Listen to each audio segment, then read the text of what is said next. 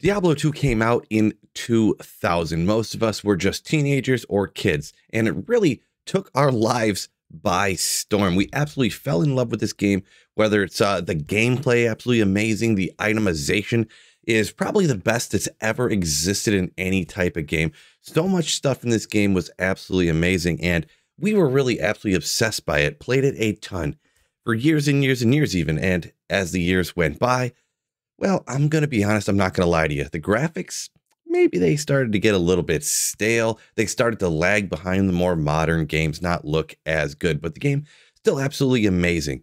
Well, there started to be rumors year after year after year that there was going to be a Diablo 2 remake or a remaster. But every year these rumors would come up and then you wouldn't hear anything about it ever again. It would just never happen. So I never thought there would actually be a Diablo 2 remake.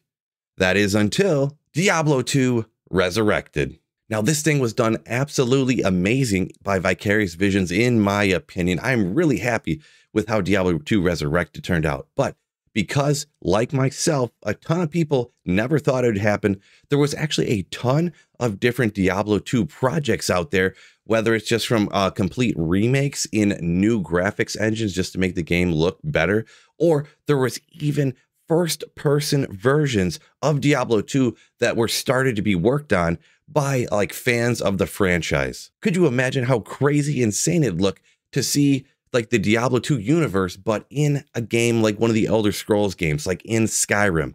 Well, actually, there's somebody working on that, and I'm going to show you exactly what that stuff looked like today in this video.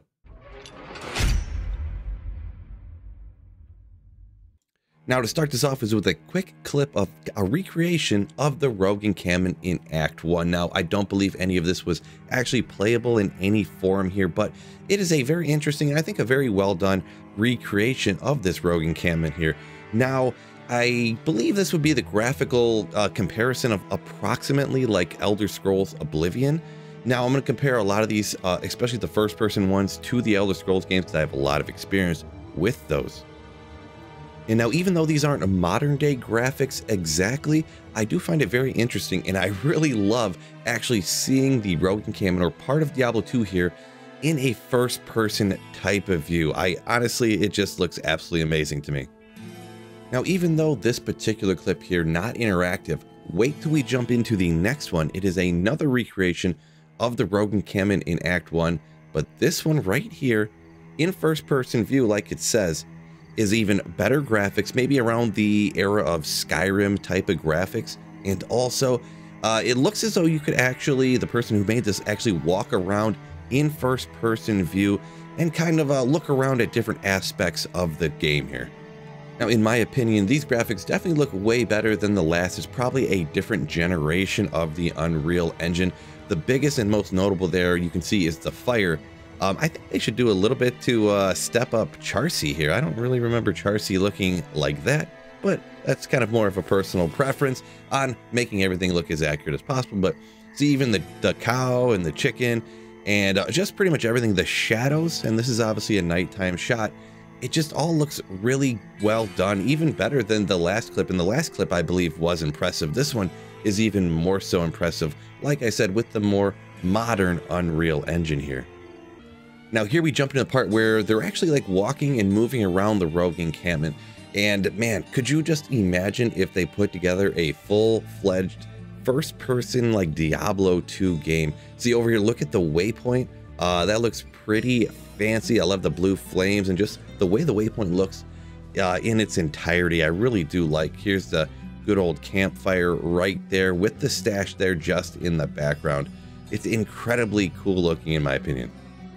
Now, as far as this particular one got done was this actual like ability to move around in this rogue encampment. It's not a full-fledged game or anything. You're not going out slapping down demons and picking up those juicy, nasty drops or anything like that. But uh, this still is impressive for just kind of a fan project. It looks really good, and I really do commend the uh, creator of this. It's also neat too to see kind of at the end of the video uh, a little more of like the UI of, uh, you know, some of the more stuff of when they created it. You know, you can add, move around objects and things along those lines. Now that we did the Act 1 Rogue encampment, I mean, the most logical choice, let's move on to this other project here done in Unreal Engine 4, it says right there at the beginning of the clip. And this is the Act 2 Lut Gholein City. Once again, uh, it's this really awesome seeing this rendered out in uh, 3D here. This, once again, is one that is just kind of a static video of a trailer of what they created here, the city, but it looks pretty dang cool. There is, of course, one of the town portals. Uh, and once again, this is, I would put it somewhere, it's hard to tell being in a desert, but maybe somewhere between the Morrowind and Oblivion uh, era of graphics. I believe I looked it up, and actually Oblivion was Unreal Engine 5, so maybe we'll put this more around the Morrowind time period, but still, each and every one of these cities and different parts of the game rendered out in first person is so incredibly interesting to me. Always having that, you know, 2D top down type of view, but then seeing the landscape, seeing the cities rendered out, uh, done very well, a very great job by the people that did create these uh, Unreal Engine versions of this city. So I really, once again, I do want to commend the people for their uh, work here. Most of this, like I said, was just uh, different types of fan creations. But man, when we get around to the palace over there, it looks absolutely amazing. And you know, you fly around the whole city here. Now we're obviously going along with the order that things appear in the game is what I decided to do for this video, so it's incredibly awesome. Look at this arcane sanctuary. This is where you normally would find the summoner kind of towards the end of Act 2. Now this uh, platform where the summoner would be along with the waypoint, the book, it's got the emblems up there. It looks absolutely amazing. This is in one of the newer Unreal engines, so this is uh, pretty much top of the line. And the guy that did this obviously did an amazing job. And also super interesting is right here, he actually, at the end of this uh, video, he shows you exactly how he built the entire thing. And it is in uh, incredibly sped up time, but realistically, I mean, this guy is incredibly talented and very good. It doesn't take him that long, kind of in my opinion, to put this one section together. And with this newer Unreal Engine, it looks absolutely amazing. And kind of towards the end as well, too, you kind of see him finagling around with different lights, moving them where they go. And because the way the Unreal Engine works and the way you build this stuff up, then it casts these absolutely amazing shadows from the different places, from the fire, from the different emblems and things like that. Uh, so once again, like I said about all of them, I, maybe I'm a broken record here, but I am incredibly impressed by a lot of these different fan arts uh, and just how good they do look in these Unreal Engines. Now up next, we're moving on from Act 2 and we're actually jumping into Act 3. You see right there, the Kurast docks done in the Unreal Engine. Now, they really do, once we jump into it, they're showing the old artwork, do a great job of capturing, you know, just the feel and the look of that dark and just dreary swamp. You see a little bit of sprinkle, little rain coming down. The water effects obviously look good. It is Unreal Engine. And once again, this looks, I would put it around a similar time frame or similar graphical capabilities of the first Rogue Encampment clip. So I'm going to call it maybe around the Oblivion era once again. So these all these clips are from different time periods and time frames and a lot of them, you know, different Unreal engines. But once again, it's just really awesome seeing this stuff rendered out kind of in the, you know, in 3D in more of like a first person type of view instead of that whole top down look. You can really fly around and see different angles of different buildings, of different structures, of different areas than you normally could have ever in Diablo 2 or even in Diablo 2 Resurrected. Uh, D2R is an amazing game and I, I think it looks really dang good, but I just feel like there's something special in seeing everything in 3D and like I said, being able to look at everything in all of the different angles. So once again, very well done here by uh, Tony there. You've seen the guy's name right at the beginning who uh, made this particular fan art, the 3D rendering of the Act 3 town.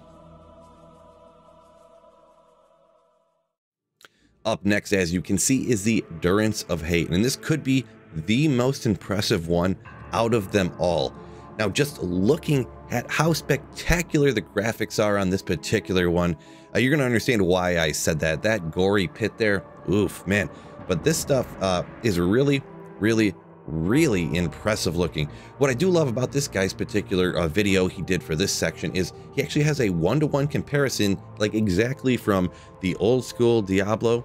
He's got Diablo 2 Resurrected, and then he compares it to his uh, version of it right here. And what's also awesome, make sure you stick around, check this entire one out, because at the end of it, he actually has a playable, like running running around anyways, demo of this particular section. Now, you can't fight Mephisto, you're not going to be finding Shakos and finding good things like that, but you can actually run around with your with a character in this particular section to get a good look at really every little graphical aspect of it. Now this is, oh man, just the bones flying around in that tornado right there, looking at the portal that would eventually take you on to Act 4. Really spectacular job done once again here. Now we'll jump into the part I mentioned earlier where he compares the literal exact one-to-one-to-one -one between Diablo 2, Diablo 2 Resurrected, and then his rendering of it in the, uh, I believe the newest Unreal Engine that like the public has access to anyways. And it really does look amazing, the shadowing and just the overall textures. There is one thing that in my opinion, it's not an attack on anything that the creator did, but I believe I see this in every single modern game that uses these Unreal Engines. Everything looks a little bit hazier. It is so hazy, maybe misty is the correct, correct word, that everything almost looks a little washed out on the screen. So in certain instances, and some things just in my opinion, I almost think Diablo 2 Resurrected in a way looks better because everything looks a little more crisp, even if that is technically probably a little less realistic. But this is just my take on it. And this guy is obviously absolutely amazingly talented to be able to do all this and put it together. So really, bravo, sir. And this honestly is probably the most impressive part. It's a sped up section, but he is actually running around physically with a character in this area. And it says link in the description. I will link to this guy's video so you can go, go over his video, go in his description of his video, and you can get a link if you actually want to download and try this out yourself. I personally have not done so yet, but man, after seeing this, I really want to. And now since we are moving through the game, here is a project done where it is actually Act 4. Now this one, I don't know that it's necessarily in the Unreal Engine per se. This particular project, in my opinion, has kind of the appearance sort of of like World of Warcraft, you know, a WoW type of look to it. Not necessarily my particular favorite, whatever, but it is incredibly interesting and impressive it's not just like a rendered out flying around type of video. He literally has like his example dude here, just like the generic character running around in the atmosphere, actually running up the River Flames and marching into the Chaos Sanctuary. Now, there were not any monsters in there at this point, but here we are actually in the town part of Act 4, and he's running out onto what this would be called the outer steps here. And here it looks incredibly interesting because he actually has some monsters like characters out here. You can see it is not completely finished. This is just a work in progress right now. And you see they don't really react to him running by, but you can see he has the kind of the full uh, setup of the environment here. So very impressive, very well done. And you know what is even more impressive? This same person continued this project to got to a point where it's essentially playable. Now, it is not the full-fledged game, you know, in this particular trailer, put together really an impressive trailer, to be perfectly honest. There isn't actually like items falling and you don't see like full-fledged uh, combat, but you do see the character actually attacking monsters, monsters like aggroing, noticing the character, and then attacking and things like that. You see the damage numbers come up from you attacking. So uh, even to get it to this point, I think is incredibly impressive. Definitely, there's not even any remote chance in the history of my entire lifetime will I ever be knowledgeable or impressive enough to create uh, something, uh, you know, of this quality. So yeah, really got to say, uh, good job on this particular one. And yeah, you see the attacks. I wasn't a WoW player, but that attack looks incredibly like a attack I seen in some WoW videos and stuff. Feel free in the comments to let me know uh, if that is accurate. And then I do love this part at the end, running out onto the star where Diablo would spawn, you know, in the normal game.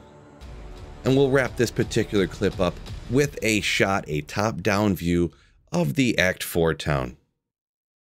And for the 35th time, I just, I gotta say one more time how impressed I am by these different fan projects, some of them even being playable it really is impressive, really is amazing. And my favorites are definitely the ones where you're in first person, walking around, seeing the towns, seeing the game, seeing the landscapes in a completely different style than that top down camera in regular Diablo 2. So I'm going to try to put a link in the description to each one of these original videos, some of them actually having downloadable demos that you could play and try out at home. So don't forget to hit the like button before you go, fellas. Peace out, and I'll catch you in the next video.